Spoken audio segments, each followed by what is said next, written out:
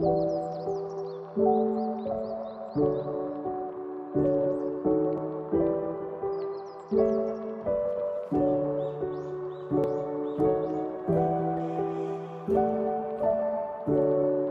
gun locks on all my weapons just so they don't fall in the wrong hands. My kids are trained with weapons, but at the same time, anybody can come take your stuff or remove it from your household, and it needs to have safety on it. Some people don't um, My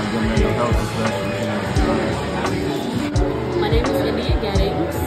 I'm very happy to be here. I really think it's important, and I think the importance of doing events such as the gun lock giveaway and the mental health resource giveaway. It not only shows people that you know there are resources out there for you, you're not alone, but it also just shows the importance of safety. Having a gun lock, it can prevent accidents from happening. It can prevent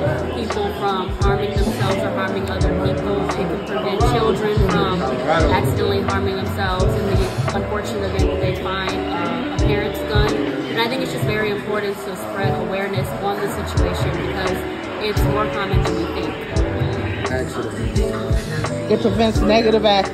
negligent Ne- accidents, Yes. furious accidents. So,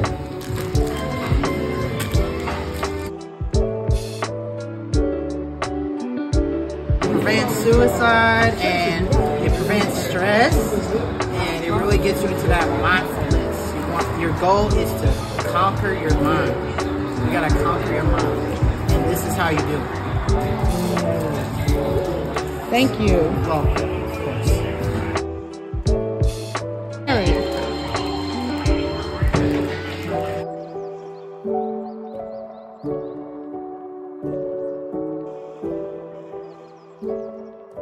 Thank you for having me. Thank you.